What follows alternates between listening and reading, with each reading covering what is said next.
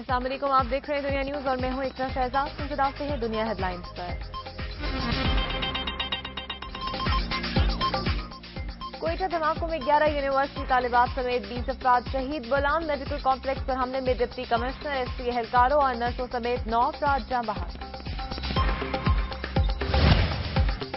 Balan medical complex में security forces का operation, चार हमलावर मारे गए, एक गिरफ़्तार मरीज़ दूसरे अस्पतालों में मुंतकिल।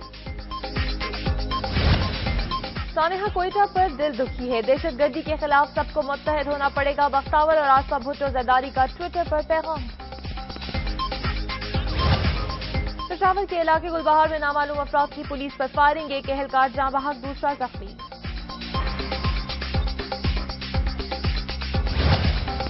और चैंपियंस ट्रॉफी में पाक भारत मैच के दौरान खेल से ज़्यादा बारिश। मैच 22 ओवर तक महदूद। एक सौ दो रन का हदफ मिलने पर भारत का पलड़ा भारी।